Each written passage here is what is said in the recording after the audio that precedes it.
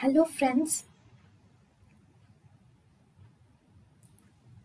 Welcome to Creative Medicine.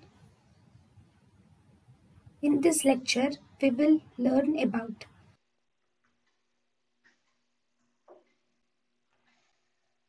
Tamsulosin. Tamsulosin is a selective alpha 1A antagonist. This selective alpha 1A antagonist is tamsulosin. It has no effect on blood pressure. It is selective to the prostate gland.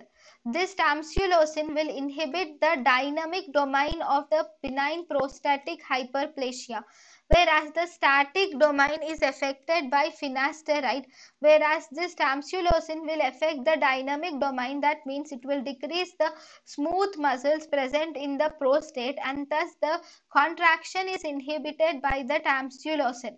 Because it decreases the smooth muscle contraction of the prostate thus causing easy uh, urine excretion next uh, finasteride is affects on the static component. So finasteride is a substitute for surgeries whenever there is large prostates are seen. Even in larger prostates, this finasteride is effective. Thank you and thank you for watching.